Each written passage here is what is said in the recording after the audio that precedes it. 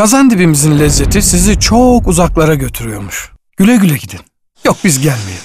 Kıvamı tutturmak için kazanın dibinde durmak gerekiyor ya. Siz gidin gidin. Bolulu Hasan Usta'dan gerçek malzemeler, gerçek lezzetler.